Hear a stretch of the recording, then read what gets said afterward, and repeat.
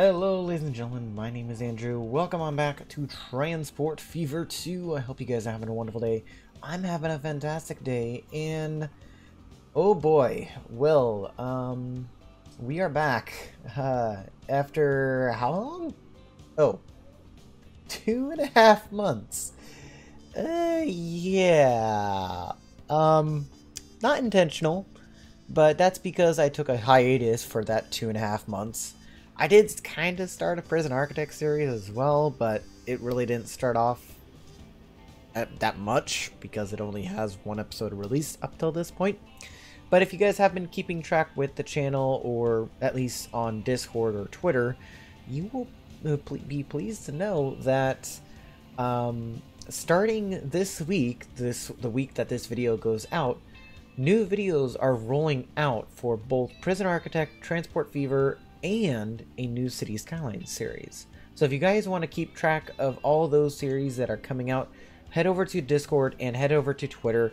Go and follow me over there on Discord. Just go and join our server and make sure you are um, you go and click the option to get the viewer role, uh, meaning that you'll be notified whenever a YouTube video gets published. That, or make sure you take a look down in the description. Make sure you are subscribed and hit the bell uh, I, bell icon to receive notifications. Now, oh my goodness, there's been a lot that I've been doing. Uh, I have been testing this save for the past couple of minutes now. Well, more like the past hour or so. And also, just recognize that I, we got a new vehicle type. I will take care of that later because I can implement that to our new uh, to our tram lines, which, to be fair, I want to go and implement some new stuff. Um, not just implementing new models or replacing buses, such as in like this one that's passing by us right now that looks decrepit um, but I want to go ahead and continue working on our train line that's going to be heading towards Wood Green. Now, this train line right here that we are looking at over uh, that looks overlooks the city of Emsworth is going to be a train line that connects over to Wood Green and I think two other cities that are on this map. Let's actually go take a look here. So we got Rugby that is on the way to Wood Green, which we already have a station built over there. I do have a plan for how I'm going to get the trackway from Rugby over to Wood Green, and I kind of have an idea about where I want the station to be at in Wood Green. I know I discussed this in the last episode, if you guys remember it, that is. Um, but I did go ahead and look through and determine where is a good spot. The final station would be Hayle which is right over here. And I did go ahead and check the pronunciation. Hayle is actually the correct pronunciation of this city. Um, so this will be the final station of the um, of the Woodstock to Hayle line. Now, Hayle's kind of like out in the middle of nowhere. It's surrounded by a good amount of industries, but it's not in good accessibility to cities. Like, for instance, Chard is over here, but it's not necessarily within close proximity to Hale. Um, that is kind of like a decent trek when it comes to a bus service, but it's also, in my opinion, it is uh, too short. No, not too short, but too long of a service to have a dedicated train line for. Um, just because I think that's a little bit out of the way, in all honesty. So I might just leave chat uh, Chard for now and come back to it at a later time. Now, one city that has caught my eye is Dart Dartmouth. Uh, this city right here, that's kind of like over at the edge of this peninsula. Now, we could connect it to Rugby. I don't have any problems with that, but that means that's going to uh, put more congestion onto the line that's heading over to Woodstock and Emsworth. I don't really want to do that. I am already like comfortable enough having one train line that's going into Woodstock that's coming from Rugby and Wood Green, but I don't want to have two that's coming uh, out of Rugby. But let me go and show you guys a couple things. One thing that I have done since the last episode is I have been working on signaling uh, primarily on our main passenger lines. Now, if you take a look here, uh, to the keen eye, you'll be able to tell the differences, but to those that do not, let me go ahead and point them out for you. I decided to replace all the signal work on this main line. Now, there's only this stretch of track right here between Woodstock and Wilscombe that actually does not have any signals. That's Now, that's kind of on purpose, as I kind of want this area to be a little bit of a spacer for the different trains. Now, Woodstock, I did go ahead and mess around with a little bit since the last episode, so let's go and take a look here. Woodstock has been changed up a bit.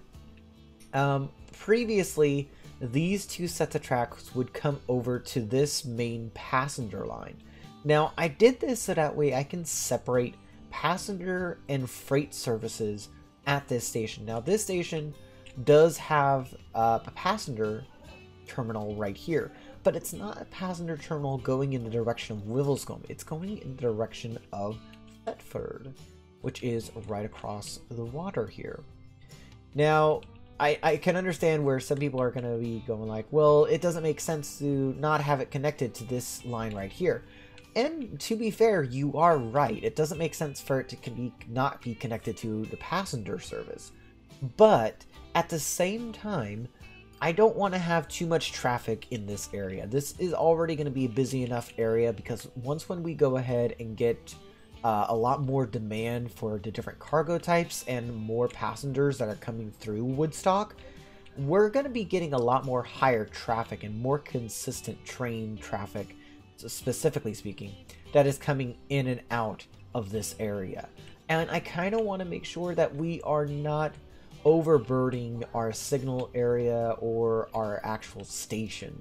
Um, now, approaching Woodstock from the direction of Thetford, and Rugby, uh, we got this section right here. This is kind of like a six-track state, uh, six-track section that is going into the station. Now, this was built on purpose, and I don't have plans to change this at any time in the near future. Uh, so, speaking regarding this, I put up signals as be- uh, in the best places that I thought was most optimal. Now, I didn't put signals on this side of this inter, um, railroad crossing, mostly because of the fact that I don't want them backing up into the station here, or at least creating a backlog into the station. I could go ahead and put a couple signals right here, but I think I'll leave that alone for now.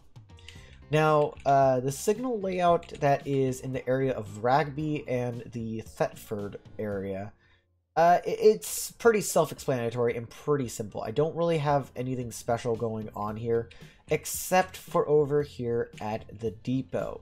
The depot for Thetford, I kind of have it set up so that way it's it's able to access both of these lines right here. It's able to access the line that's dedicated for Woodstock and um, uh, Darwin, and it's also able to access the line that's heading over to Biggleswade.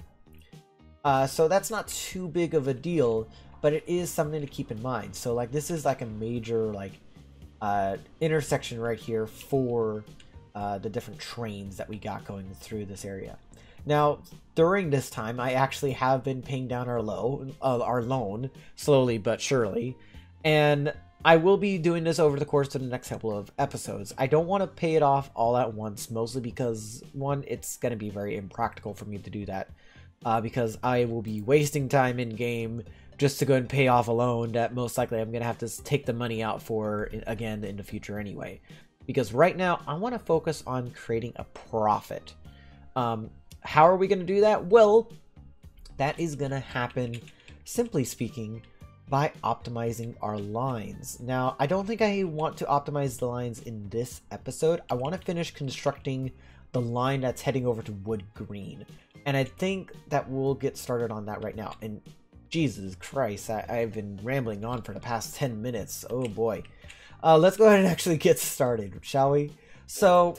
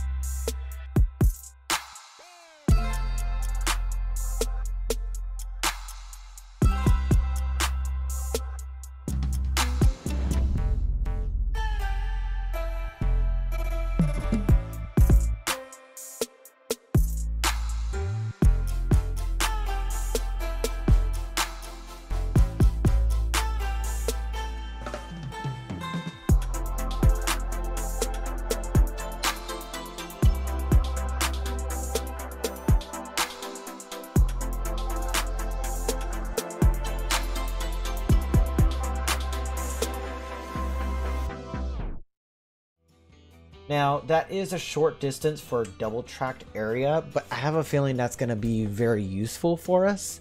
I don't necessarily want it to be a large stretch of track that is going to be dedicated for either side. Granted, this is only a small section and it does pass through a passenger station, which when the cargo train is stopped here, it's going to wait until the passenger station has cleared out first before it proceeds forward. Now, unless a passenger train is waiting right here, the cargo train is going to go ahead and just go right through. If a passenger train is waiting on here, though, it's going to take priority for the passenger train most likely. Because the passenger train, of course, is the priority on this main line. Or it's just going to go and base it off of who got there first. Either way, eh, the AI will figure it out. Um, the train on this line, I do have plans to upgrade that in the future. I just don't know when or if I'll upgrade it. Um, and I do kind of have to put in a connection for a depot. Ooh, and I just remembered. Yeah, there is no depot over here, so I might want to go and get a track coming out on this side. Because that's going to be very useful for us. Okay. And then I'll just go and get a depot over here. Okay. And that's going to be the Rugby Train Depot. That's going to only service our cargo station. That's not going to service uh, the passenger line. The passenger line is going to get serviced by this uh, train depot in Emsworth. Um, as far as uh, as far as this line is concerned, there is no train depot on this line, which I kind of regret now. There should be a train depot on this line. I don't know why there isn't. Uh, I think I might have just deleted it for some unknown reason that I can't exactly remember why. Hmm. Okay, well, I guess I'll ignore that for the time being. okay, so, uh, we got that pretty much connected. And I need to go and get Wood Green connected over to Hayle now. Now, I think this will be the last bit of that. So I think that I only need a one-track station. Uh, we'll go ahead and go with a standard passenger track. I don't necessarily need it to be bigger than that. I was thinking about using a terminal, but a one-track terminal station kind of looks a little bit weird. Uh, plus, just to be on the safe side, I am going to have a depot on this end of the line as well. Uh, so we'll leave that be for the time being.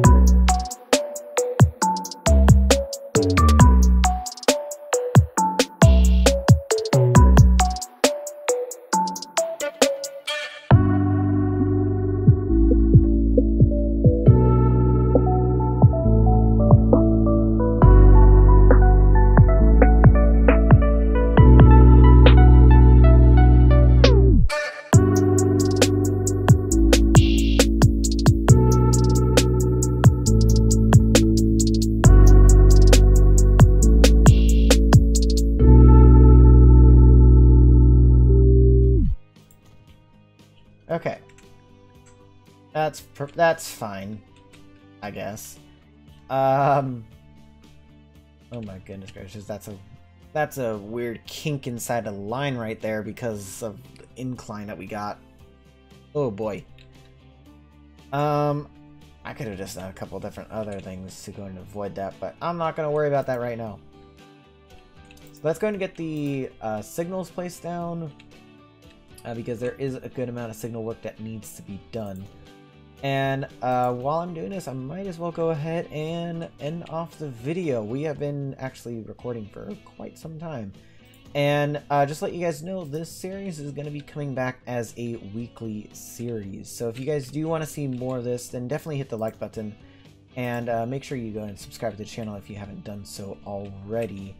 Um, we are going to make sure that content is going to be more consistent now, or at least I will be making sure of that, as there is a little bit of some work to be done as well.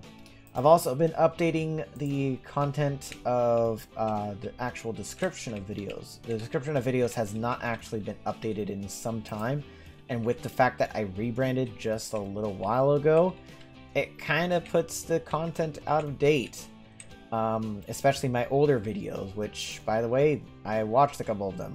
They are cringe. Uh, please do not watch them. um, there is a couple that I would recommend watching, but then again, it's cringe. So I'm like, uh, do I really want to recommend it? Not really. Uh, so yeah. Uh, but with that said, ladies and gentlemen, I hope you guys do enjoy this video. Uh, if you guys did enjoy this video, then yeah, as I said, leave a like and comment down below. Uh, and also, if you guys had any suggestion for mods, then definitely give me a shout out in the comments and uh, leave me a link to the Steam store page. It would definitely, or the, not Steam store, but Steam Workshop page uh, for a mod that you would like me to add. Now bear in mind, I do have a good collection of mods right now. The collection of the said mod list is in the description if you guys are curious. Uh, but with that said, I hope you guys enjoyed, and I will check you guys for the next uh, stream, uh, next video. Ciao for now.